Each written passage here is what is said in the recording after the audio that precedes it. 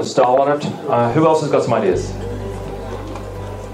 Who's got some modified product ideas that could actually get some results on Amazon? That just just just to bring something up that people are are ideally maybe typing into Amazon. Anyone?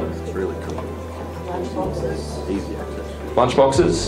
Women's lunchboxes, baby lunchboxes, um, lunchboxes, lunchboxes, electric lunchboxes. Electric lunchboxes. You know what is big now? The foldable niche.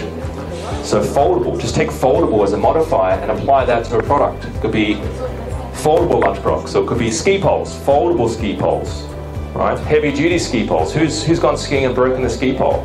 Happens to me all the time, right?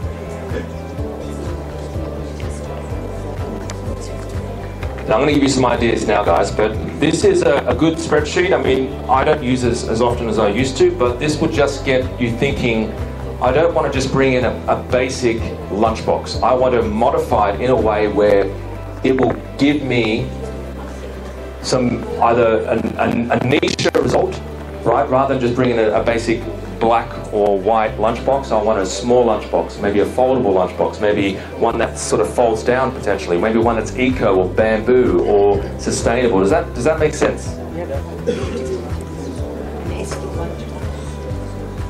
Like yeah, insulated. It could be protective. It could be there's ones these days actually lunchboxes that you have in your car where you plug it into the USB charger and it's actually a little refrigerated unit in there. Have you guys seen that before? Yeah.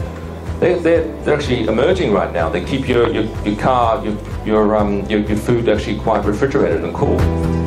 Okay.